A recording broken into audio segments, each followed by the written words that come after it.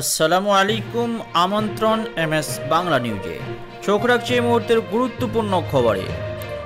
উত্তরপ্রদেশের বিধানসভা নির্বাচনে রাম জন্মভূমি অযোধ্যা থেকে প্রার্থী হবেন যোগী আদিত্যনাথ। আমরা ক্ষমতা এলে দ্রুত গতিতে রাম মন্দির নির্মাণ করব, ভোট পেতে ঘোষণা মায়াবতী পার্টির।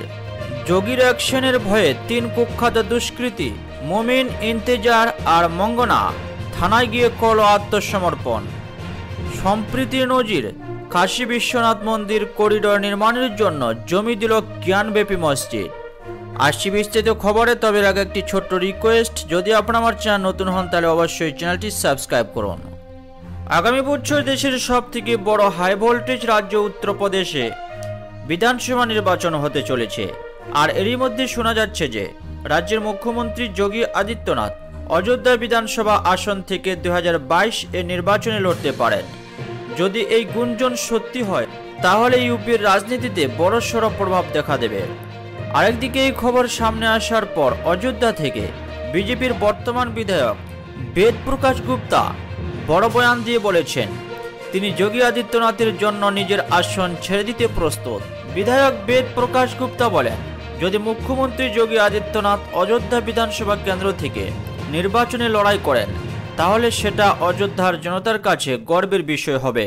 আর এর জন্য আমি নিজের আসন ছাড়তে প্রস্তুত আছি। বিধায়ক আরও বলেন, এবার বিজেপি সিটিং বিধায়কদের টিকিটে ফের বদল করবে।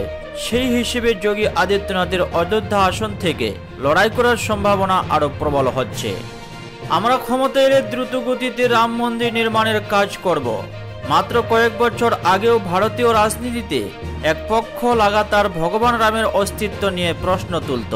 তবে হিন্দুত্ব জাতীয়তাবাদের বন্যায় সেই সমস্ত রাজনৈতিক দল ও নেতাদের মধ্যে টালমটোল পরিস্থিতি উৎপন্ন হয়েছে। তার তাজা প্রমাণ পাওয়া গেল উত্তরপ্রদেশে, যেখানে বহুজন সমাজবাদী ক্ষমতায় আসার জন্য দ্রুতগতিতে রাম মন্দির নির্মাণের প্রতিশ্রুতি দিয়েছে। আগত উত্তরপ্রদেশ নির্বাচন নিয়ে দেশ জুড়ে আরও একবার রাজনৈতিক আলোড়ন দেখা দিতে শুরু করেছে। প্রায় সমস্ত রাজনৈতিক দল কোমর বেঁধে দু হাজার বাইশের উত্তরপ্রদেশ নির্বাচনের জন্য মাঠে নেমে পড়েছে। যেহেতু যোগী আদিত্যনাথের নেতৃত্বে উত্তরপ্রদেশের সরকার চলছে, তাই বেশিরভাগ রাজনৈতিক দল এই নির্বাচনে বিজেপিকে টার্গেট করে প্রচার শুরু করেছে।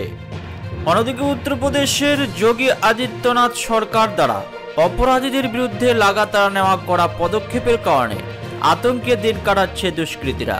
অপরাধীরা পুলিশের এনকাউন্টারে এতটাই আতঙ্কিত যে তারা থানায় গিয়ে পুলিশের সামনে আত্মসমর্পণ করছে। এরকমই এক মামলা সামলি থেকে সামনে এসেছে। সেখানকার কোরানা কোতোয়ালিতে তিন অপরাধী নিজেই পুলিশের সামনে গিয়ে জানায় যে তারা আর অপরাধ করবে না। কৈরানা পুলিশ লাগাতার চাপ এবং কড়া পদক্ষেপের কারণে গ্যাংস্টার ভয়ে থানায় গিয়ে আত্মসমর্পণ করে। এসপি সুকীর্তি মাধবের নির্দেশে পুলিশ দ্বারা অপরাধীদের ধরপাকড় আর এনকাউন্টার চলছে। পুলিশের অত্যাধিক চাপ এবং কড়া পদক্ষেপ থেকে ভয় পেয়ে শনিবার তিন দুষ্কৃতী মুমিন, ইন্তেজার এবং মঙ্গনা কৈরানা থানায় গিয়ে আত্মসমর্পণ করে। কোতোয়ালি প্রধান জানায়, অভিযুক্তদের বিরুদ্ধে কৈরানা থানায় হত্যার প্রচেষ্টা এবং তোলাবাজি ও দাঙ্গা ছড়ানোর অভিযোগ দায়ের হয়েছে। শনিবার তিনজন হাত তুলে কোতোয়ালি পৌঁছায় আর পুলিশের সামনে স্যারেন্ডার করে। দুষ্কৃতীরা জানায়, তারা অপরাধ ছেড়ে এখন সাধারণ জীবনযাপন করবে। তারা পুলিশের সামনে ভবিষ্যতে অপরাধ না করার শপথ নেয়।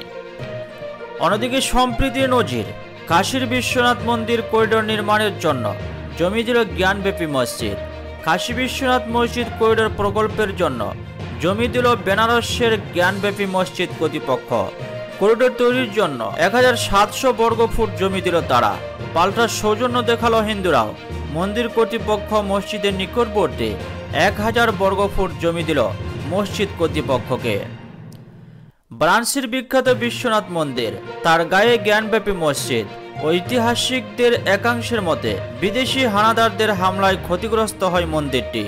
ষোলোশো সালে মূল মন্দিরটি দখল করে জ্ঞানব্যাপী মসজিদ তৈরি করেন মুঘল বাদশাহ ঔরঙ্গজেব।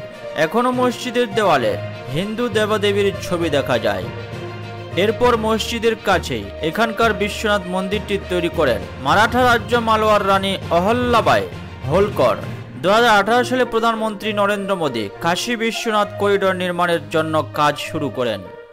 আঞ্জুমান ইন্তাজিমা মসজিদের যুগ্ম সচিব এস এম ইয়াসিন বলেন, জ্ঞানব্যাপী মসজিদের তিনটি জমিখণ্ড একটিতে মূল মসজিদ, দ্বিতীয়টিতে দুই উপাসনালয়ের মাঝে যাতায়াতের অংশ ঘিরে বিরোধ। তৃতীয় অংশটি বাবরি মসজিদ ধ্বংসের পর নিরাপত্তা। দেখভালের জন্য অনির্দিষ্টকাল জুড়ে জেলা প্রশাসনকে দেওয়া হয়েছিল। এই তৃতীয় অংশটি এবার মসজিদের তরফে মন্দির কমিটিকে দেওয়া হয়েছে করিডোর নির্মাণের জন্য।